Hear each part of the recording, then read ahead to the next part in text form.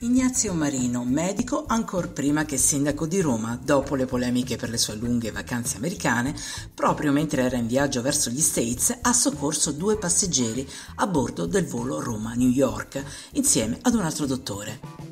La notizia è stata data dalla press e confermata dal messaggero.